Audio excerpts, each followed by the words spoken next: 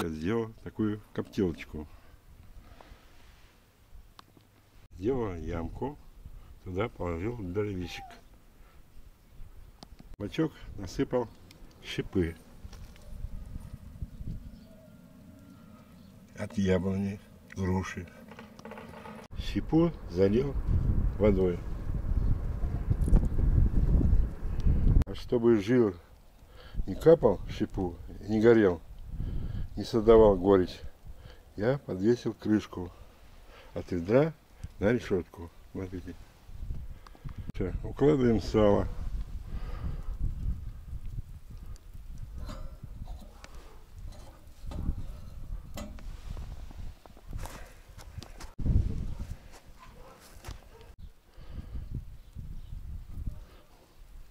Это так, кусочек. Уложили. Коптилку надо закрыть крышкой или тканью, чтобы дым не уходил. Лучше всего закрывать при копчении мешковиной. Она немножко пропускает дым. И будет в самый раз.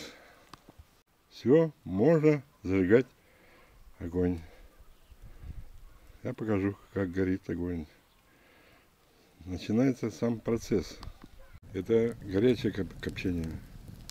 Процесс будет длиться 30-40 минут. И будет сало готово. Потом посмотрите. Я вам покажу.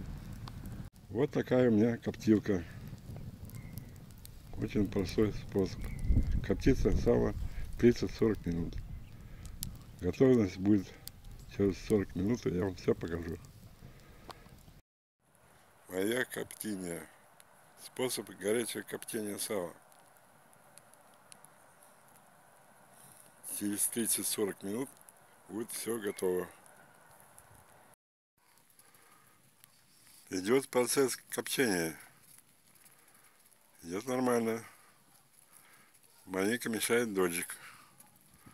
Ну, надеюсь, он Пройдет скоро.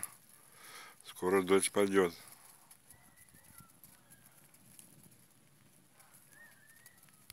Осталось 20 минут. Хлеб идет коптиться.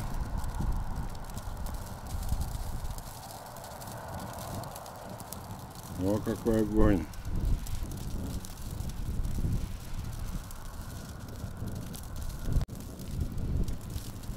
ветер. Коптится хорошо. Прекрасно коптится. Готовим сало. Горячее копчение. И вот прошло уже 40 минут. Минут через 5 будем вытаскивать. Я думаю, будет готово. Вот результат. Красивое сало, горячее копчение. Просто легко. Один час и все будет нормально. Вот оно какое красивое. Готовое блюдо. Ох, какое красавец и сало. Красота! Вкуснятина! Блеск. Вот и все дела. Продукт готовый. Можно кушать. Вот такое сало. Горячее копчение.